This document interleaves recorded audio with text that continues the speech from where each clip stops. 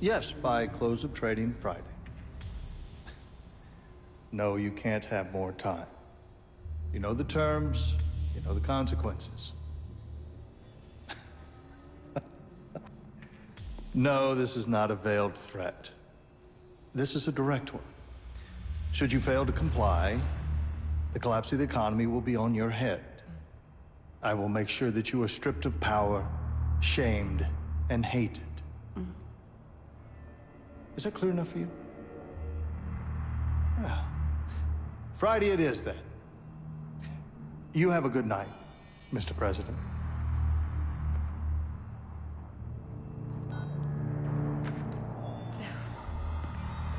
Did you get it, my darling? Over a trillion. Oh, Soon I will own everything worth owning. I will control the world through debt. I have absolute power. the world is at last your bitch, as am I. Nothing left but to grab it by the hair, bend it over, and. What's the matter? What? What's the matter? A loose end. A loose end, what?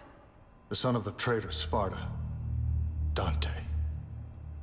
Him. He's still out there. The hunters will find him. They found Sparta and his whore.